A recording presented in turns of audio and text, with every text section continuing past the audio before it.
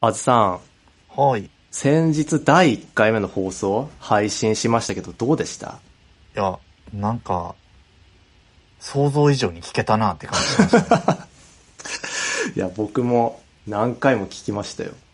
いや、ぶっちゃけね、ぶっちゃけね、あの、40代のおっさん二人が、うんなんか、良くも悪くも気持ち悪く喋ってるだけじゃないですか。そう、まあまあまあ、そうね。うん。けどね、なんか、聞いたら、いや、客観的に慣れてるかわかんないけど、できるだけ客観的に聞いても、あれ？結構面白くね？ってなって、なんか、じわじわと僕も多分、4、5回聞いたかな？もっと聞いたかな？はい。ね、あずさん、それはね、僕たちが自分大好きっ子だからですよ。身も蓋もない。身も蓋もないな。自分が大好きで、もう聞いて、ああ、面白いなって。けど、いや、まだだからこれもう知らない人からしたらもう ただのおっさん二人が、なんか昔の青春時代の、なんか知らないバンドの話して、みたいな 感じかもしれないですよ。えでもね、ちゃんとね、客観評価もあって、うんあの、うちの奥さんに聞いてもらったら、あの、すごい絶賛してましたよ。それは、あずさんの奥さんが、あずさんを愛してるからですよ。身内だからね。あまあまあね、まあね。いや、でもそれれで言ったら、あずさんあの、ね、第2子がお生まれになったってことで、おめでとうございます。そうなんですよ。ありがとうございます。めでたいはい。もう、はい。J-POP じゃんけんやってる場合じゃないよ。いやいやいやいや、今ちょうど寝てますから、大丈夫です。上の子が長男で、男の子で何歳？今、1歳、えー、2ヶ月ですね。?1 歳2ヶ月でもう、妹が生そうまれ。たと。そもう、あっという間にお子さん2人、う。ねびっくりですよ。チルドレンが、チルドレンが。チルドレンが誕生したと。はいという。ことでね、はい、めでたいですね。はいこ。れはめでたい。そんなわけで、はい。そんなわけで。そんなわけでやっていきます、今日も。はい。ぼちぼち行きましょうか。ということで、お届けしてまいります。J-POP じゃんけん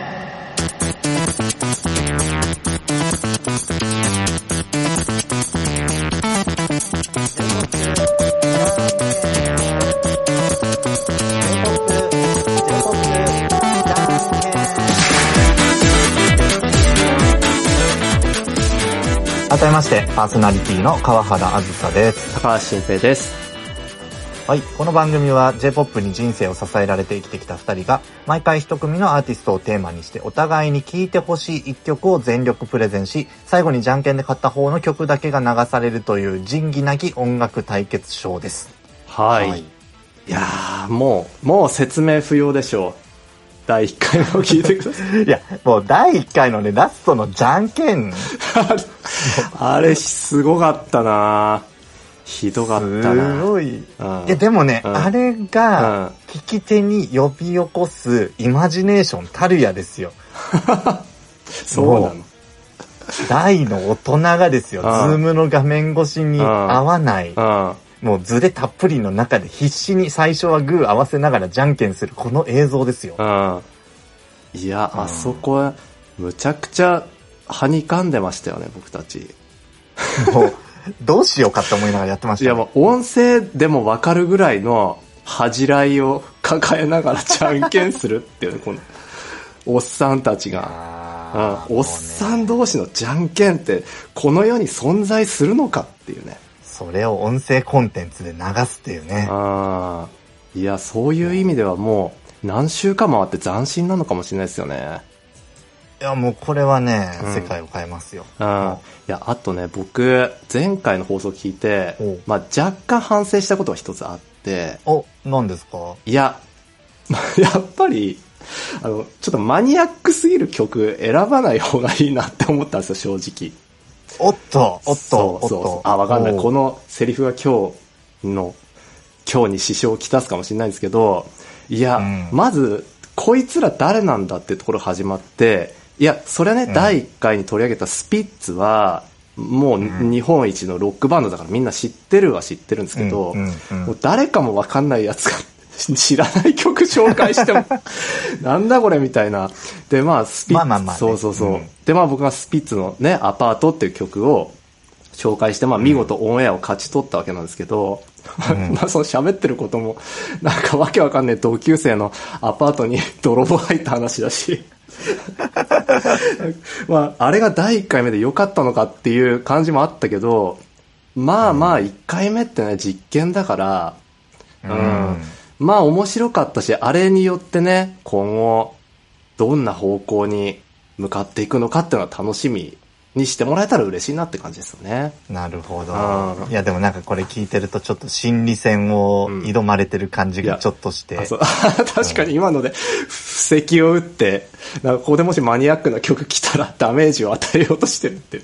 はい。うん。ということで、うん今日のアーティスト、あそろそろそうだ発表します。それ発表してなかったですね。これ重要ですよ。うん第2回目。誰なんですか、はいこれ。はい。第2回目は、ミスター・チルドレンです。ミスチル。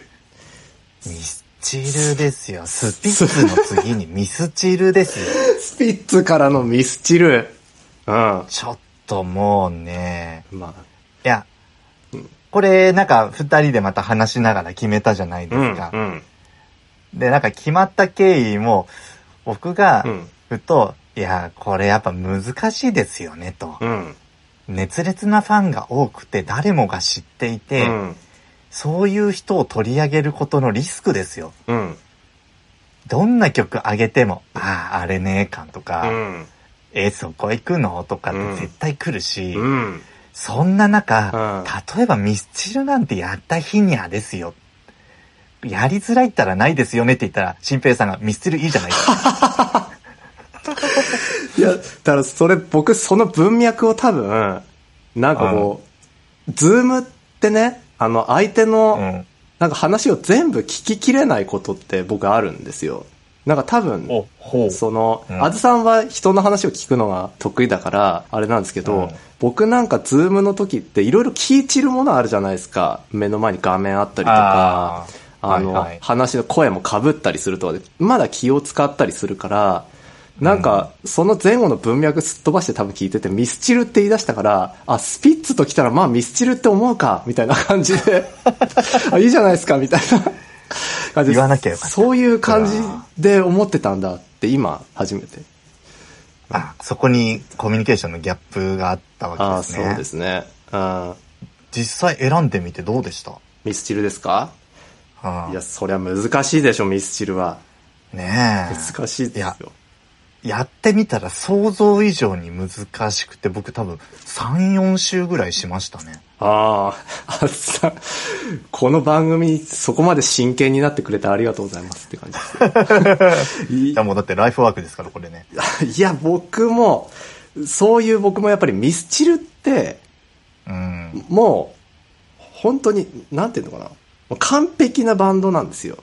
ででも、うん。あの、シングル曲でもそのモンスター曲みたいなものが、こんだけ多いのに、アルバムにまで手をつけた日には、うんもう、すごい曲が多すぎて、ちょっとまあどうしていいかわかんない。ね。うんそう、それで聞きたいんですけど、あずさんってミスチルの好き度ってどのぐらいなんですか？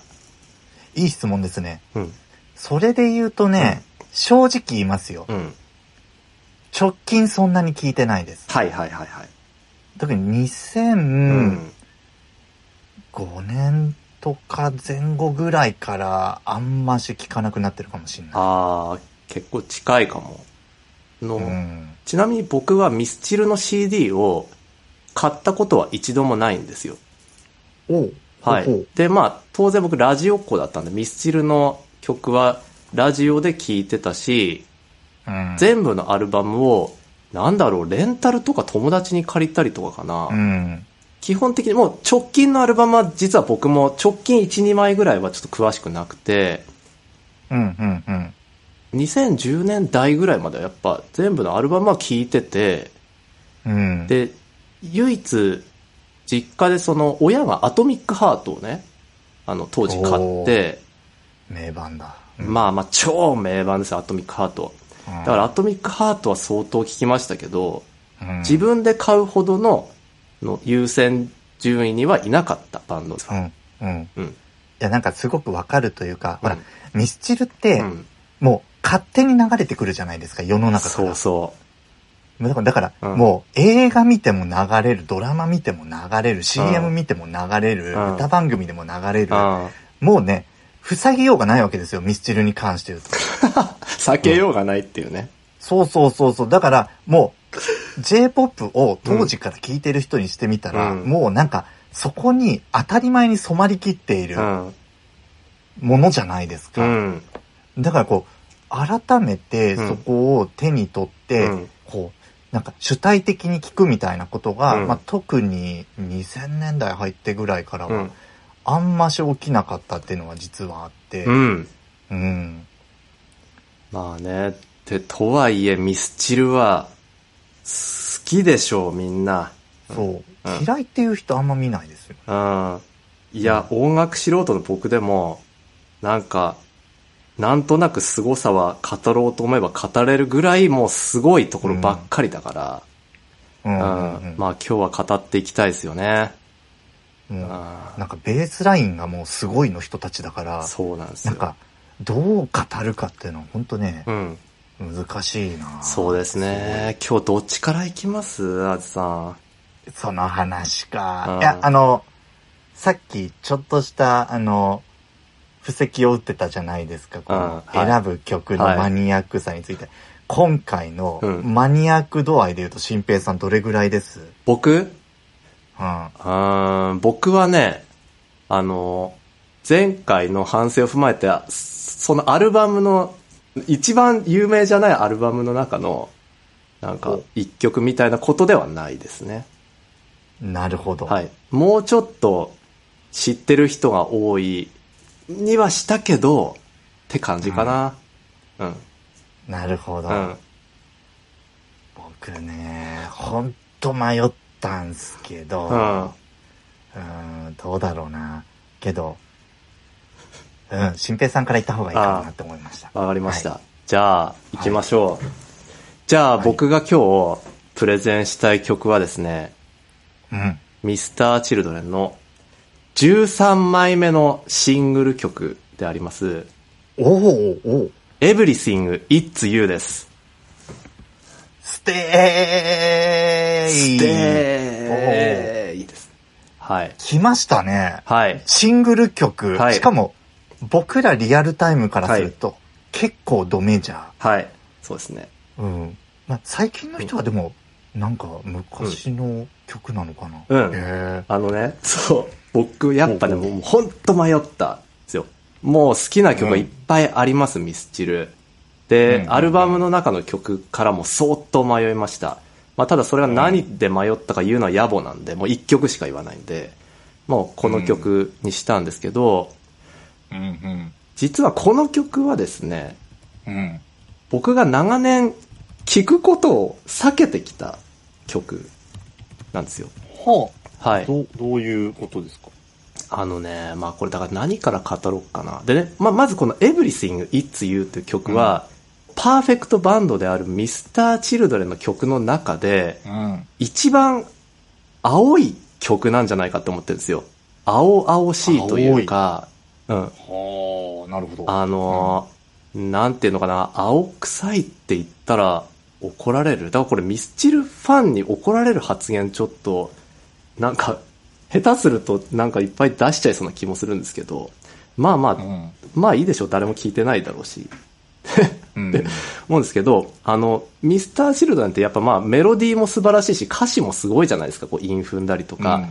で、そんな中で、まずこの Everything It's You って、このタイトルもおしゃれみたいな評価はされているものの、の僕の感覚からしたら、まあ、Everything It's You って訳すと、すべて、それは君っていううん、ことじゃないですか。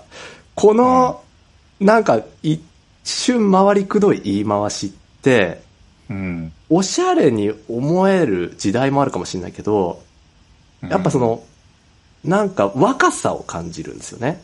確かに。う。うんん。で、いつ言うはカッコですよ、ちなみに。エブリシング、カッコいつ言うですからね。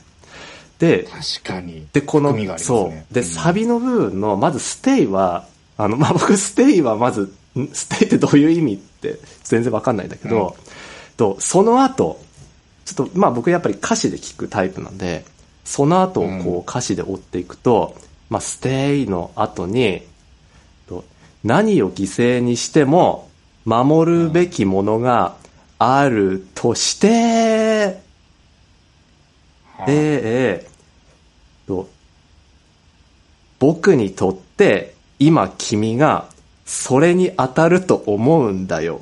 なんですけど、これちょっとよく考えてください。何を犠牲にしても守るべきものがあるとして、僕にとって今君がそれに当たると思うんだよっていう言い回し、すごくないですか？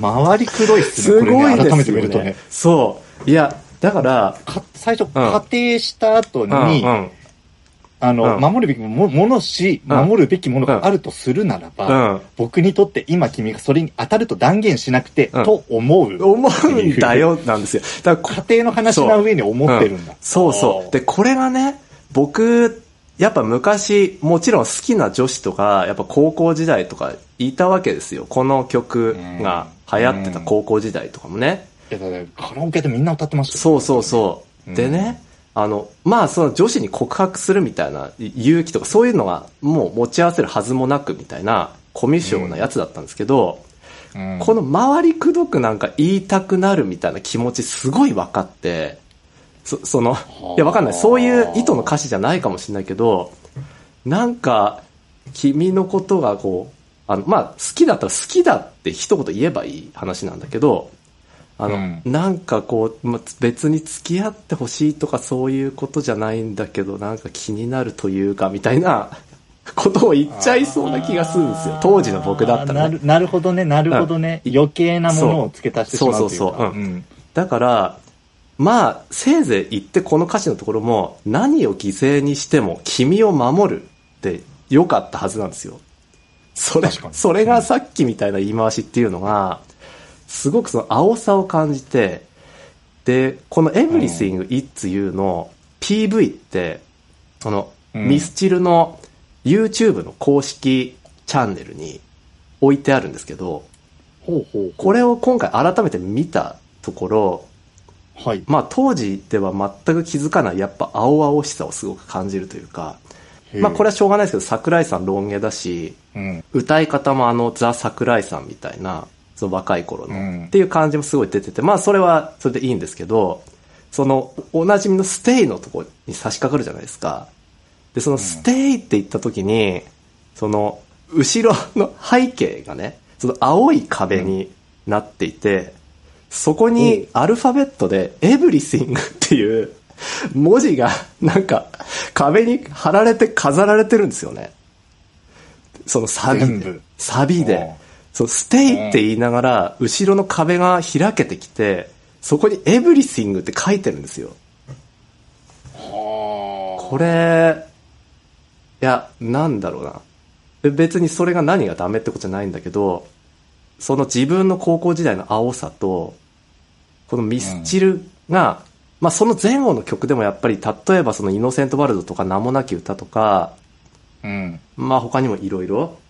でも当時からやっぱ突っ込みどころなんて全くない完璧な曲が多い中、この Everything It's You だけ僕は剥き出しのロックンロールみたいなのを感じられるんですよね。なんか。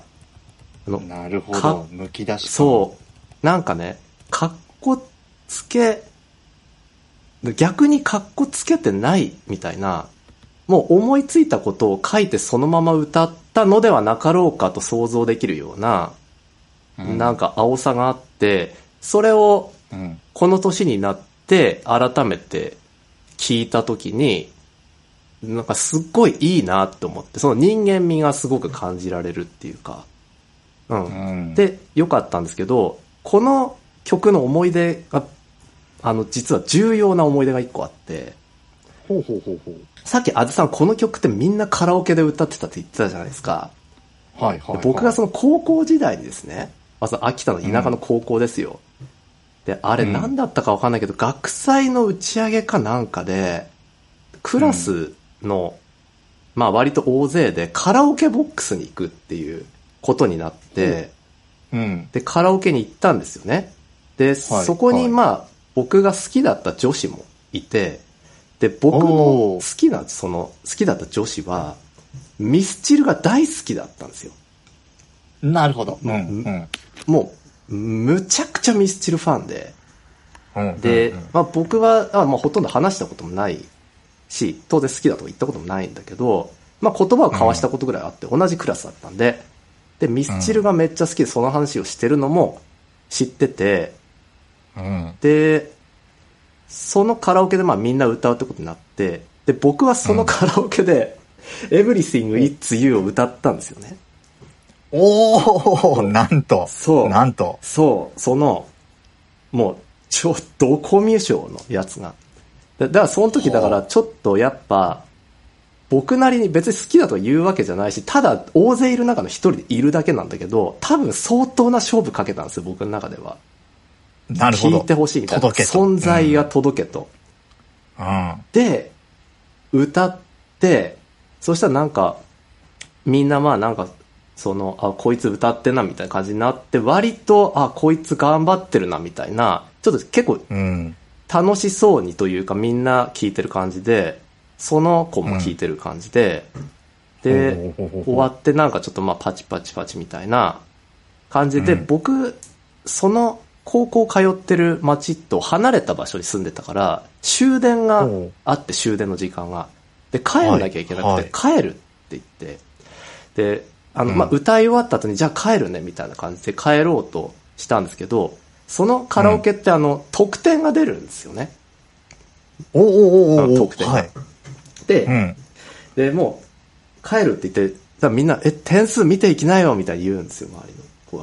うん。で、僕なんか、その時う、歌い上げて、すごい自分のセルフイメージでめっちゃ上手く歌えたって思ってて、得点めっちゃいい点出たらかっこいいなって思いながら、はい。でもなんかちょっと恥ずかしいし、もういいよ、見なくていいよ、みたいな感じの雰囲気で、帰ろうとして、いや、見ていきなよ、みたいな感じで、で、帰り際にそのチラッと見えた得点が60点ぐらいだったんですよね。いやー、中途半い端。やもう多分そのうんカラオケで、いや、もうカラオケで60点っていう低得点出ることあんのかっていう。あの、もうリップサービスと同じぐらいのあの、どんな低くても80点台。もうちょっと下駄履いてほしいですよね、そこはね。60点台みたいな。で、それその好きな上司もちょっと見てて、うんで、僕それでその瞬間帰ったっていう。で、そっから僕はしばらく Everything It's You を聞いてなかったんですよ。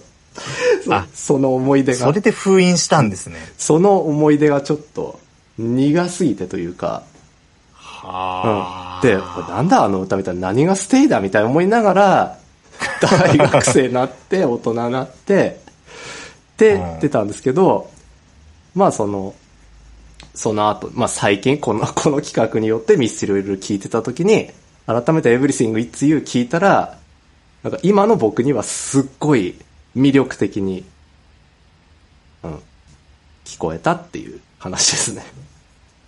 いやーしかしでもこれ改めて歌詞見てみると確かに青いっすね、これね。そうなんですよ。この曲だけ多分ね、だと、だけだと思うんですよ。でね、この曲が入ってるアルバムって、6枚目かな？あの、ボレロっていうアルバムで。はいはいはい。ああのの、シングルいっぱい入ってるやつ。あ、そう。だからこれね、あずさんも同じこと感じたかもしれないけど、アトミックハートあったじゃないですか。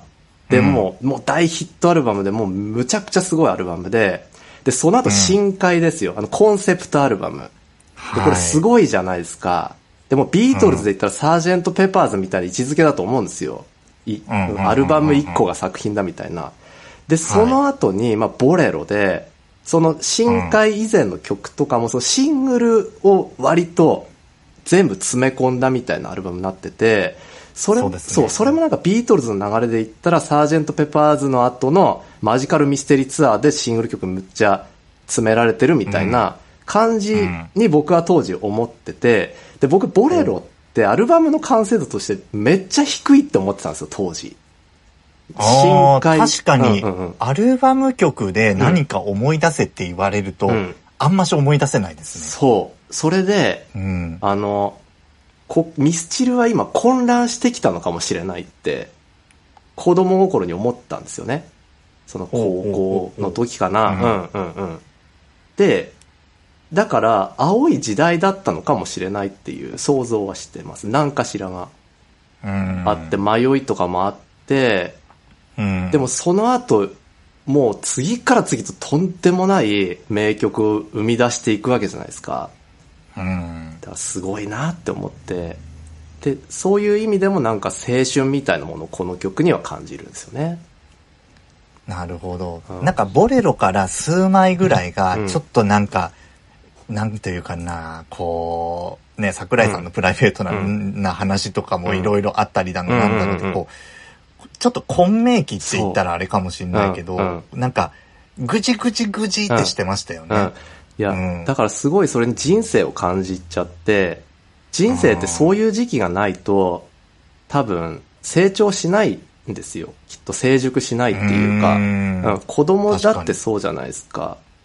まあ、子供っていうか、だだからまさにそれが青春だと思ってて、そのバンド、ミスターチルドレンっていうバンドで第二の青春というものが起こったのかもしれないという想像で、まあこれファンの人からしたら、いや全く違うよって思うかもしれないですけど、まあまあ一人の感想なんで、うん。そんな風に思うと、今振り返るとこの曲をすごく大切な思い出として、うん、思い出すって感じですね。はい。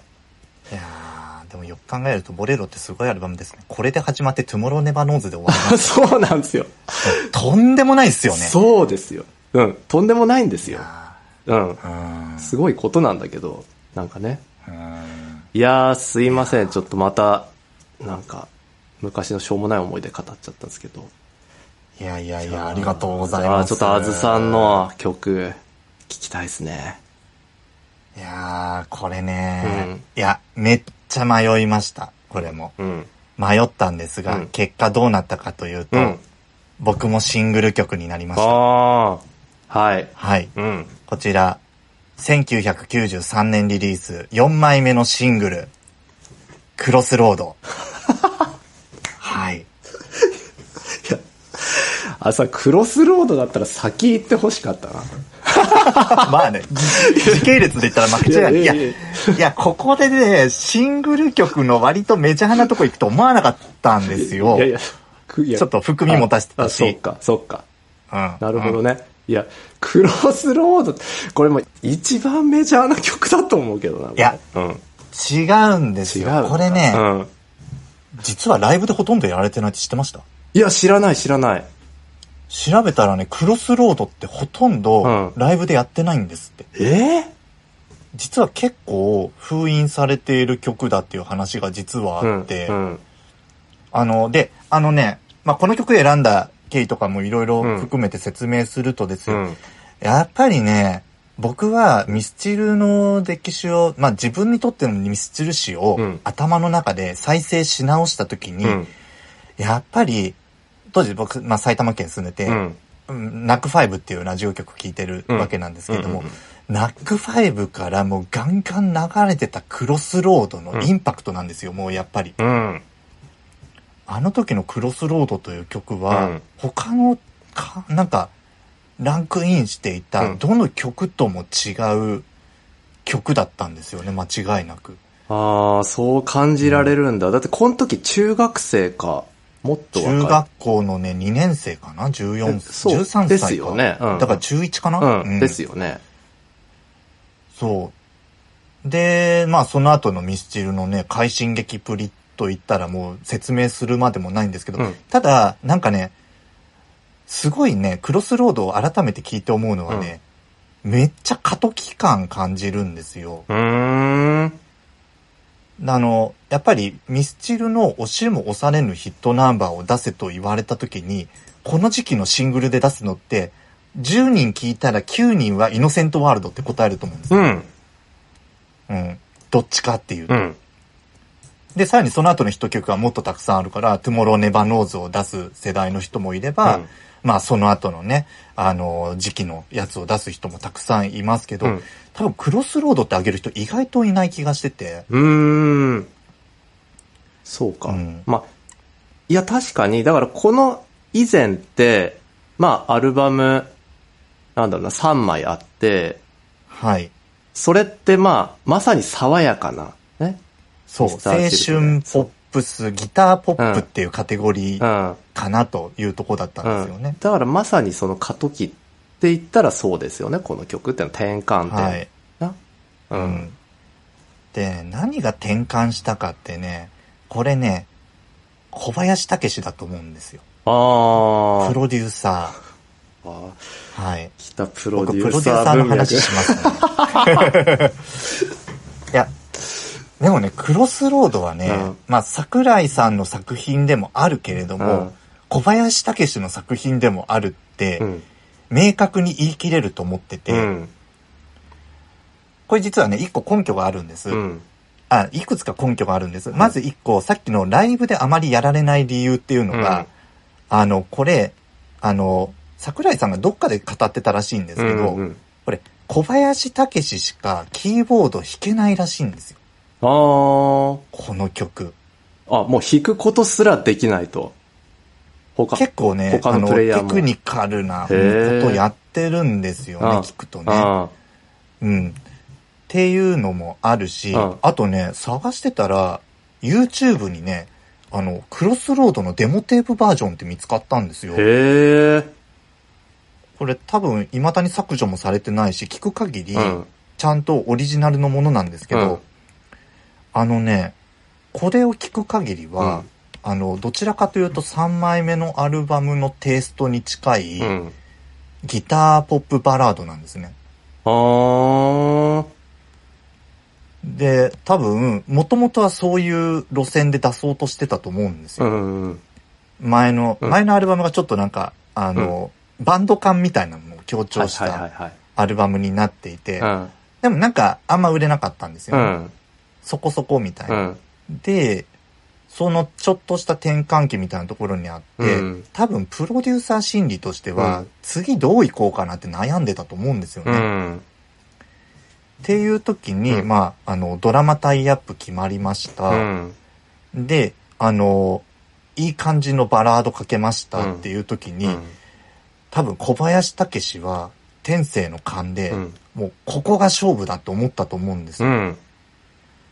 うん。で、結果的にもうバリッバリ弦楽器とか使って、キーボードじゃんじゃん入れて、アレンジ手加えてっていう風にやって、うんもう、マイラバのアルバムとかね、聞くとわかるけど、もう、聞き返すと、うん当時の小林武史のテクステそのまんまでやってんですよね、クロスロードって曲は。うん。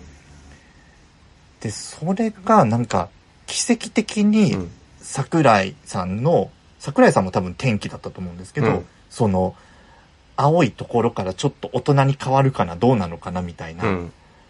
何せもともとミスターチルドレンっていうバンド名つけちゃう人なので、うん。で、テーマソングがチルドレンズソングっていう曲だったわけですよ。はいはいはい。そこから、なんかちょっと脱背伸びしようとして、脱皮したいな、でもまだそこまで行ききれないな、みたいな時に、うん。ここが一つ、なんか化けるポイントとして、うん。もう、多分外せなかったんじゃないかなっうん。ていうふうに思って、だからそう思って聞き返すと、うん当時のなんか、ラジオとかで聞いてて、うんこの曲なんか違うぞって感じた理由もわかる気がするんですようね。ん。うん。いや、それを感じるの、すごいなって思って、で、うん。僕は当時クロスロード流行ったじゃないですか。うん。で、中学生で、の、まあ、やっぱりクラスでその音楽をよく聴いてたり、バンドやってたり、イケてる奴らはクロスロードをめっちゃいいって言ってたんですよ。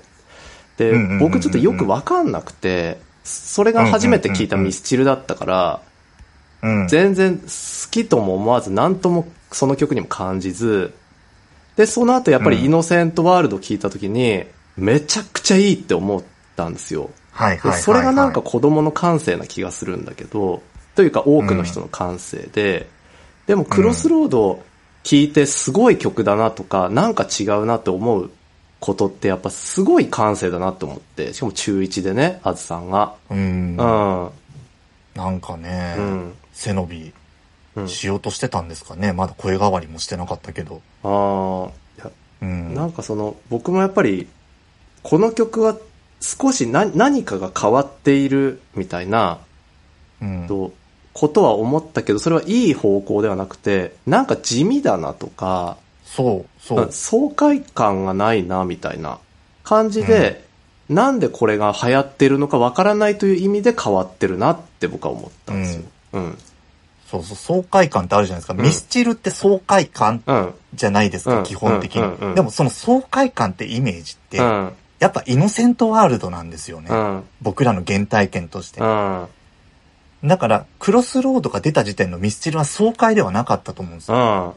だから結構、その歴史の狭間の中でうん、地味なポジションにうん落とされた、うん隠れた名曲感をすごい僕は感じていて、うん。だって、サビのメロディーとかもよくよく聞くとね、うんちょっと不思議というか、うんメロディアスではあるんだけど、カラオケで歌いづらいんですよね、結構。あ、クロスロードですか？はちょっと早口で、あメロディーも上下するし、うんあんまり歌っててカタルシスがないんですよ、ミスチルの曲の割に。うん。どっちかっていうと多分カタルシスさんの B メロで、はいあの、真冬のひまわりのようにってあるじゃないですか。うん。聞いててもあそこが印象に残る。うん。でも B メロなのであくまでなんかブリッジですよね、A メロとうの。ん。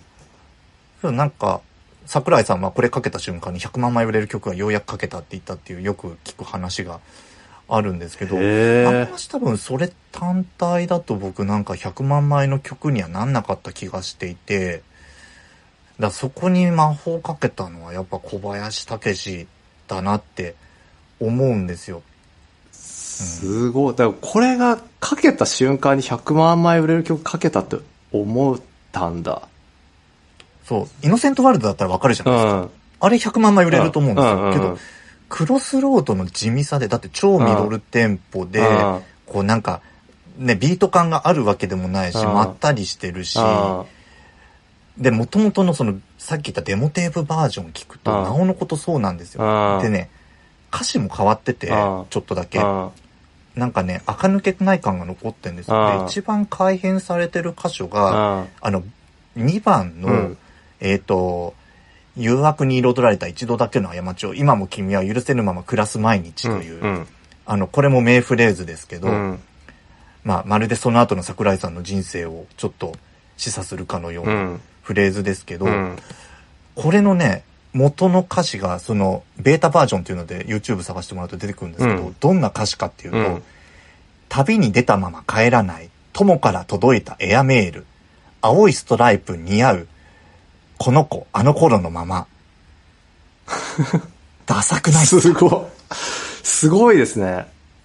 ええでもその後は冷たい風に吹かれて佇むマテリアルワールドってあのまた名フレーズ続くんですよ。ここだけなんか浮いてて、うん。え、でもそれデモだから適当に歌ったみたいなことじゃなくて、いや、多分これね、ほぼ完成してたんだと思うんです。それ以外の歌詞もね、ほぼ変わってなくて、あただ、アレンジとか感想のところとか、うんあとね、あの、最後フェードアウトで終わってるんですよ。うんこのデモテープバージョン。うんで、最後のまた締め方素晴らしいじゃないですか、クロスロード。うん。